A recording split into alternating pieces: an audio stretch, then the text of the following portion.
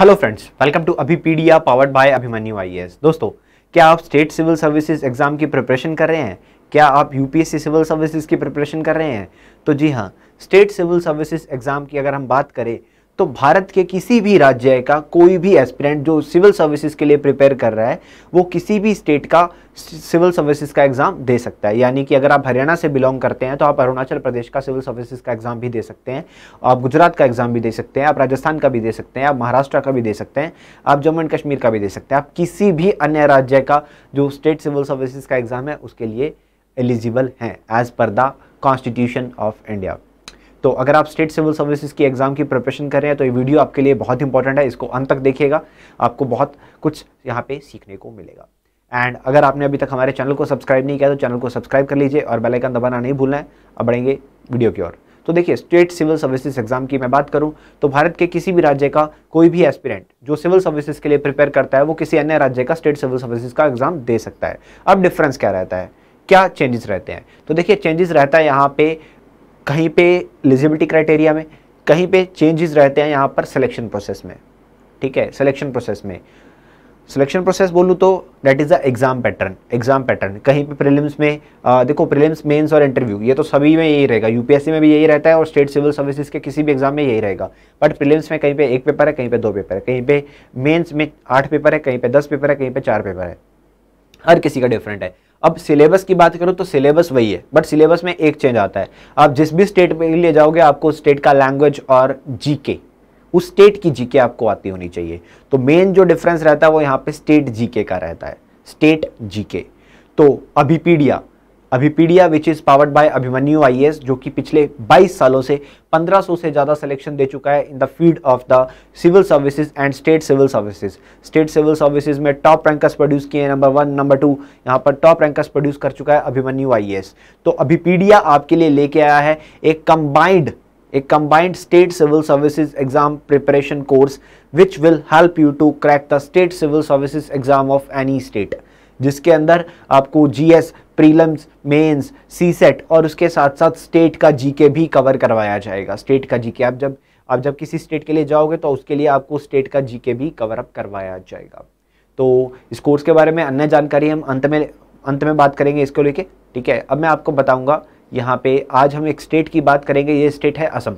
तो असम के अंदर जो सिविल सर्विसेज़ का एग्ज़ाम होता है, Assam combined civil services preparation exam तो इसके अंदर क्या पैटर्न रहता है, क्या चेंजेस आए हैं, क्या सिलेक्शन प्रोसेस रहेगा, क्या एलिजिबिलिटी क्राइटेरिया है, कैसे आप इसको ज्वाइन कर सकते हैं।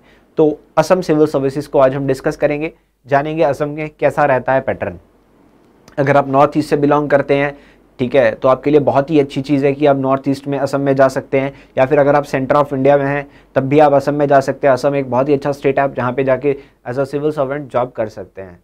तो क्योंकि अच्छी खासी वैकेंसी भी आती है यहाँ पे तो एक बहुत ही अच्छा मौका रहता है असम सिविल सर्विसेज़ को ज्वाइन करने का। देखिए, किसी भी स्टेट का जो सिविल सर्विसेज़ का एग्ज़ाम होता है, वो स्टेट के पब्लिक सर्विस कमीशन के द्वारा ऑर्गेनाइज करवाया जाता है। हर स्टेट में अपना एक पब्लिक सर्विस कमीशन होता है as per the government of India act nineteen ठीक है? तो यहाँ पे असम पब्लिक सर्विस कमीशन जो है, वो यहाँ पे वर्क करता है in the field of the selection of the grade A grade B officer in the Assam state that is a public service commission तो अब असम पब्लिक सर्विस कमीशन कब बनाया गया था? That is on first of April 1937 that is with the provision of the government of India act 1935 ये बनाया गया था। तो असम पब्लिक सर्विस कमीशन यहाँ पर असम सिविल सर्विसेज़ का रिक्रूटमेंट करता है। तो जानते हैं क्या प्रोसेस रहता है, कितनी वैकेंसीज आती हैं, सारा कुछ जानेंगे। सबसे पहले मैं बता दूँ कितनी वैकेंसीज यहाँ पे आती है। तो देखिए 2017-18 में यहाँ पर 165 वैकेंसीज आई थी। बहुत अच्छा नंबर है। 2020-21 में इसके बाद 331 vacancies I. I am talking about the allied ठीक है कंबाइंड कंबाइंड स्टेट ठीक है, जिसमें सिविल सर्विसेज़ डीएसपी ठीक है एक्साइज ऑफिसर ये सब मिला के मैं बात कर रहा हूँ। तो 331 वैकेंसी अभी 2020-21 में इसको लेके आई थी। तो अभी और भी वैकेंसीज यहाँ पे आती रहेंगी। तो एक बहुत ही अच्छा मौका है इस एग्ज़ाम को क्रैक करने का, आगे बढ़ने का। आगे बात करेंगे इसके बारे में तो यहाँ पर एज लिमिट क्या रहती है? एज लिमिट 21 ईयर मिनिमम और मैक्सिमम 38 ईयर यानी कि अगर आप 21 साल की उम्र आपकी है कम से कम, और ज़्यादा से ज़्यादा अट्ठतीस साल की अगर आप हैं, ठीक है 21 से 38 के बीच में है तो आप एलिजिबल हैं असम सिविल सर्विसेज़ का एग्ज़ाम देने के लिए। हाँ अगर आपके पास कोई कैटेगरी है S C S T O B C तो वहाँ पर आपको रिलैक्सेशन मिल जाएगा अपनी कैटेगरी के अकॉर्डिंगली आगे बात करें एजुकेशनल क्वालिफिकेशन की तो एजुकेशन क्वालिफिकेशन एट लीस्ट जो यहाँ पे आपके पास होना चाहिए एक ग्रेजुएशन का डिग्री भारत की किसी भी मान्यता प्राप्त यूनिवर्सिटी से।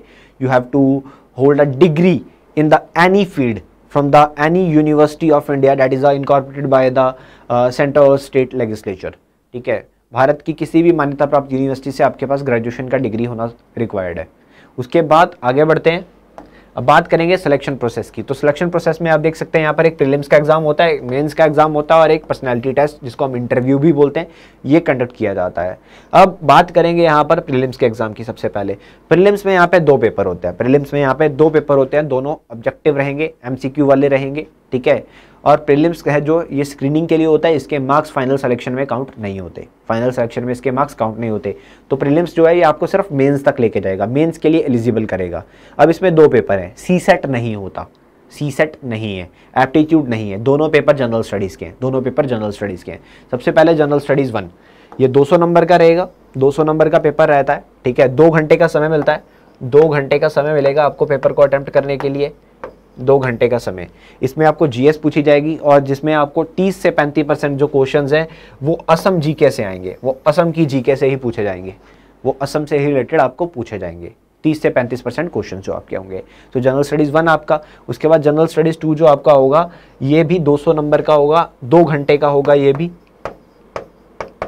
बट सिर्फ़ क्वालिफाइंग इन नेचर इसमें सिर्फ़ आपको क्वालिफाई करना है। कितने परसेंट एटलीस्ट लेके आने तैतीस परसेंट इसमें आप तैतीस परसेंट ले आए, उसके बाद इसका कोई काम नहीं है। इसमें आपने तैतीस परसेंट लिए, उसके बाद आपके इसमें जितने मार्क्स आते हैं, उसके अकॉर्डिंगली जो कट ऑफ़ बनेगी और आप मेन्स के लिए एलिजिबल होंगे। आप मेन्स के लिए एलिजिबल होंगे। क्लियर तो जनरल स्टडीज़ का जो पेपर टू है that is only qualifying in nature इस बात का ध्यान आपको रख लेना है। थर्टी थ्री परसेंट आपको सिर्फ़ लेने होते हैं इसमें। तैतीस परसेंट तैतीस परसेंट दोनों पेपर एक ही दिन में लगभग कंडक्ट किए जाते हैं ओ एम आर शीट पर होगा ऑफलाइन ठीक है?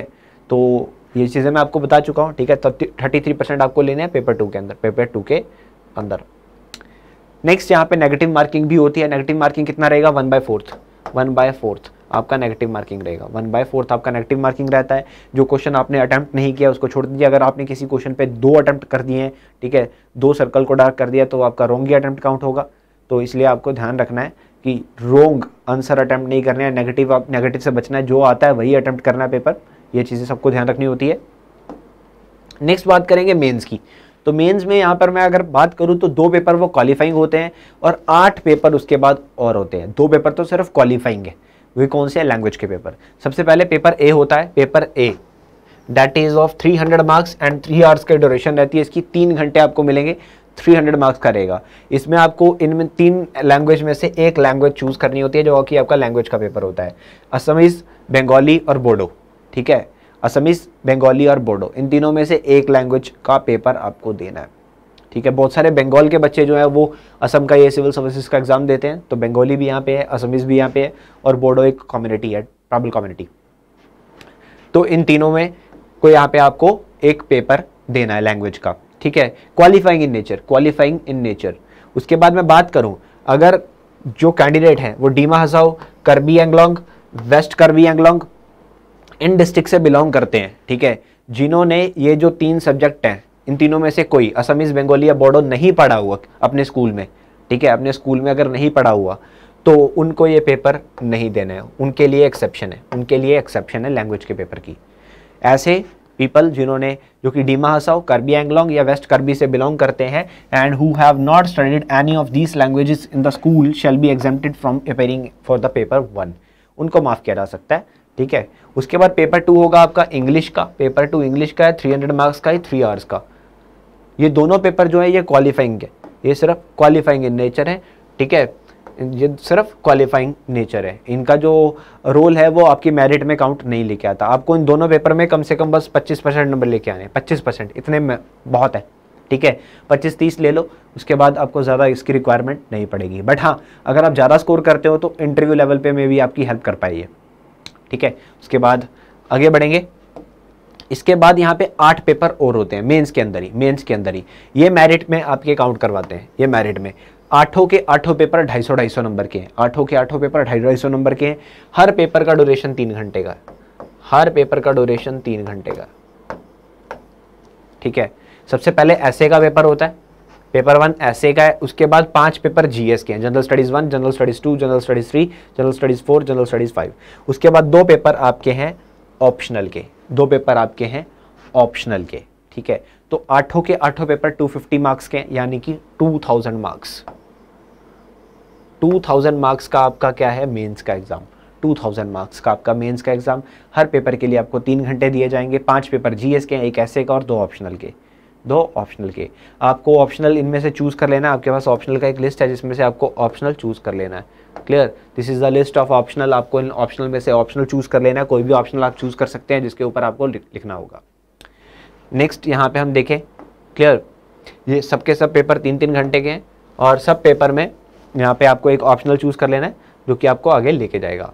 उसके बाद मेंस की परफॉर्मेंस के बिहाफ पे। मेंस की आपकी परफॉर्मेंस के बिहाफ पे you have to be selected for the interview और the personality test which is of 275 marks जो कि 275 मार्क्स का है। और टोटल आपका जो सिलेक्शन होगा, वो 2275 मार्क्स में से होता है। ठीक है? 200 2000 नंबर का आपका मेंस है 275 का आपका इंटरव्यू है, और 2275 आपके टोटल मार्क्स हैं, जिसमें से आपका फाइनल सिलेक्शन होता है। फाइनल सिलेक्शन होता है। तो मेक श्योर sure आपको अच्छा से अच्छा स्कोर करना है मेंस में और इंटरव्यू के अंदर इंटरव्यू के अंदर तभी आप सिलेक्ट हो पाएँगे असम सिविल सर्विसेज़ के अंदर असम सिविल सर्विसेज़ के अंदर। You have any kind of doubt regarding the exam pattern you can write in the comment section. Now uh, move to the course.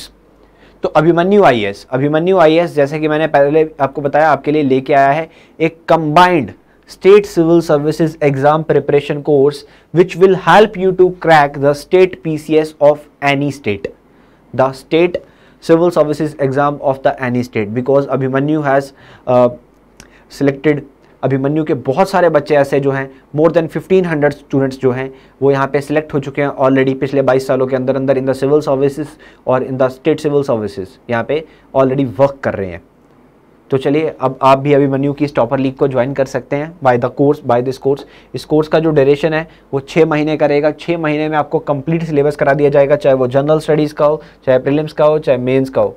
ठीक है? Along with the CSAT along with the CSAT आपको cover करा दिया जाएगा। छः महीने के अंदर अंदर पूरा का पूरा syllabus and the best thing of this course is that कि आप पहले टीचर को जानिए, पहचानिए, फिर आप, आपसे पढ़ाई करेंगे। एंड वो कैसे? There is a twenty days free trial twenty days free trial ऐसा आपको कहाँ मिलेगा? बीस दिन का फ्री ट्रायल तो अभिमन्यु आई आपको दे रहा है ट्वेंटी डेज़ का फ्री ट्रायल बीस दिन क्लासेस लगाइए, उसके बाद सिलेक्ट कीजिए कि क्या आप इस कोर्स को ज्वाइन करना चाहते हैं। तो छः महीने का ये कोर्स है, जो कि आपको एग्ज़ाम को क्रैक करने के लिए बहुत अच्छे लेवल पे हेल्प करेगा।